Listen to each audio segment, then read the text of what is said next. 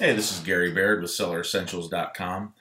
In this video, I wanted to talk about RevSeller, uh, one of my favorite tools that I use every day, whether you're sourcing uh, online arbitrage, whether you're doing wholesale, whether you're looking to do a private label product, you can use RevSeller to help you do that. It's most helpful to me in my wholesale and on online arbitrage endeavors, but it's certainly you know, able to be used for other models as well.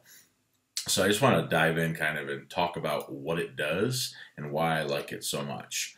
Uh, we actually started testing it for them when they launched it in beta mode and we gave a lot of feedback amongst other people and uh, they were really really responsive as far as taking that feedback and, and adding those features to the tool. Very very nice tool great people behind it. So um, I highly recommend this tool. It's $97 a month uh, I'm sorry $97 a year uh, for this tool. It's well worth the what eight bucks or whatever that comes to a month to have this functionality at my fingertips. It probably saves me half an hour every day.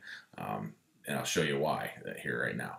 So the main things that it did at the beginning was it told you the rank of a product in the category, and it gave you the ability to do the calculation. So if I could pick this up for five bucks somewhere, um, I would make $3.25. It calculates it here, and I have it set so it calculates it both sides simultaneously. You can see I'd lose money, merchant fulfilling, I would make $3.25 as an FBA offer. Tells me my ROI, tells me my margin, and if I hover over this little I, it gives me the full breakdown of all of the fees that Amazon deducts.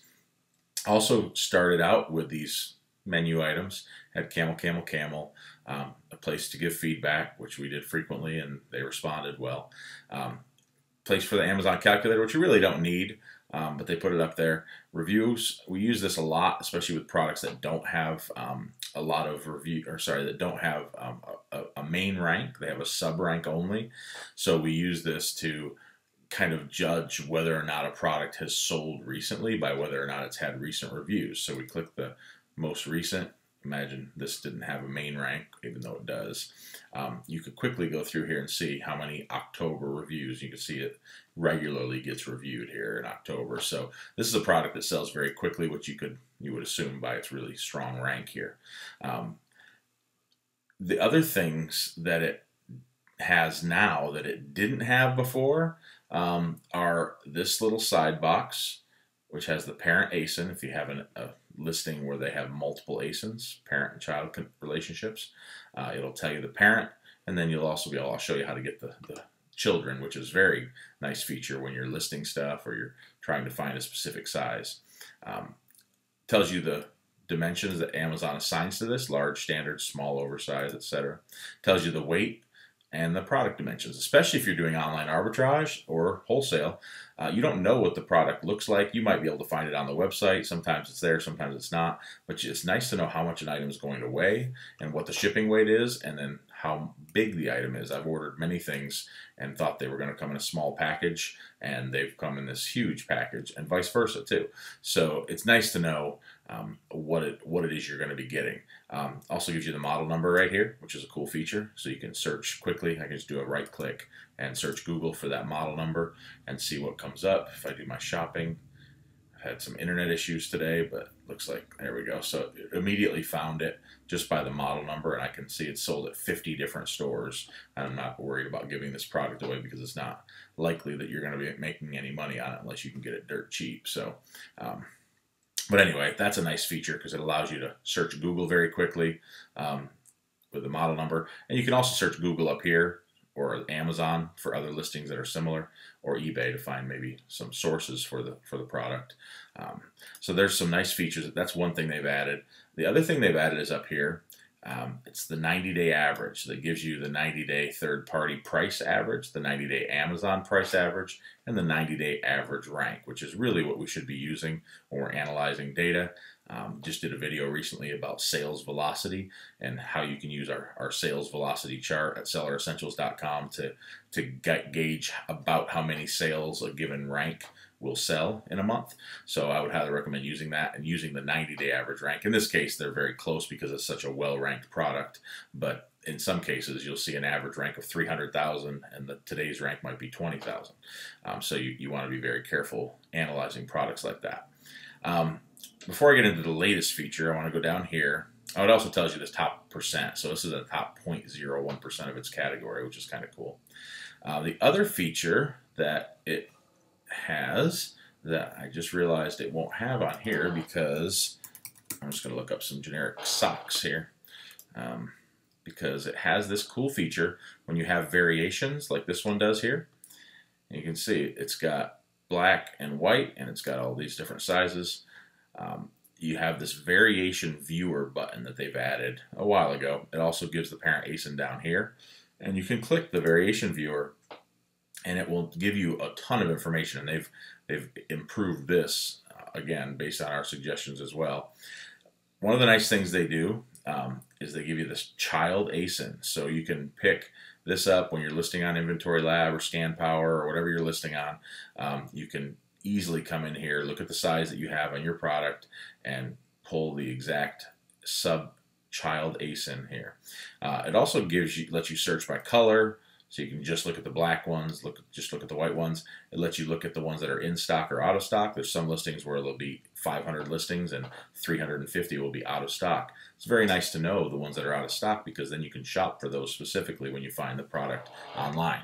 Um, gives you the price, and this price is kind of like how Keepa used to show you. Well, it's hard to see here, but this is the Amazon price, so it's an accurate price. But Keepa will show you um, the blue line only gave you the price without shipping. That's kind of what this does, so you have to be careful. This might be a little bit off because they only can report what Amazon gives them. So this might be 1836 plus five or six dollars shipping. So never assume that this is the absolute low price. If you're interested in buying something, check that out. It tells you how many offers there are, um, and that's that's sometimes it does the rank and uh, number of reviews. You can sort by rank and see which ones are selling best.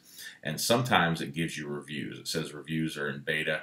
Um, if there's any verified purchase reviews since June of 2016. So maybe there aren't any reviews that recent. But if there is a, uh, a review listed, it'll show you how many each size, each parent and child, um, or each child variation received. So very helpful in evaluating which ones are probably selling best. If you see all the black socks with all the reviews and then there's one or two for the white, it might be an indication that the black socks sell better on this listing for some reason.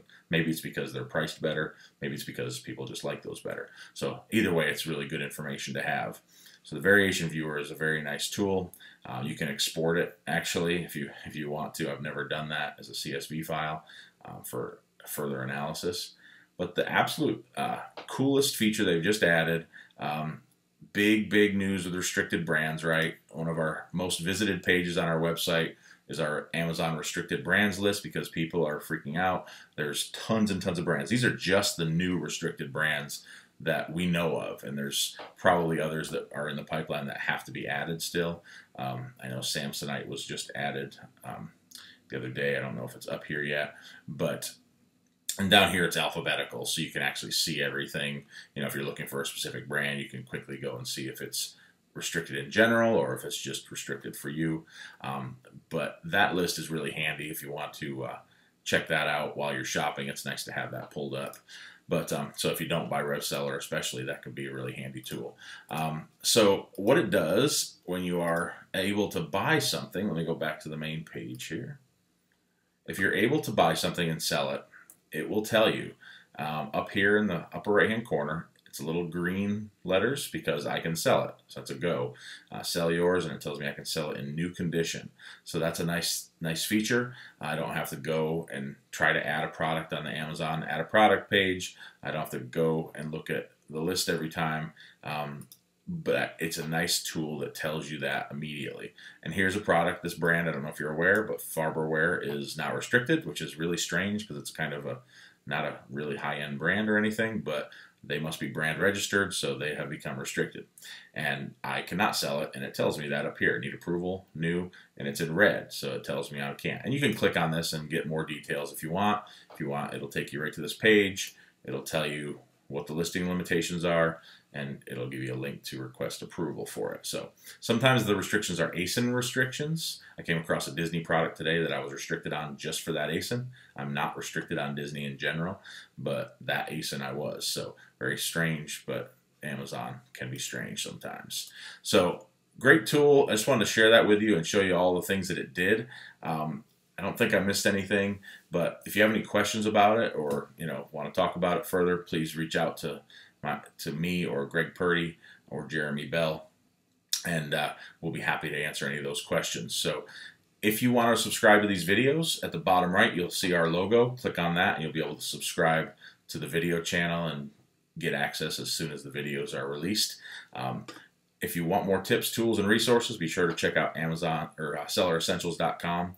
We have an Amazon page there that has tons of resources, tons of courses and, and tools and articles and videos and, and tools like the Amazon restricted brands page, the prep page. Uh, there's all kinds of information there that's great for sellers. So we want to make your lives easier and more efficient and more profitable. So hopefully this video helped. Um, have a good day. We'll post the links in the comments section.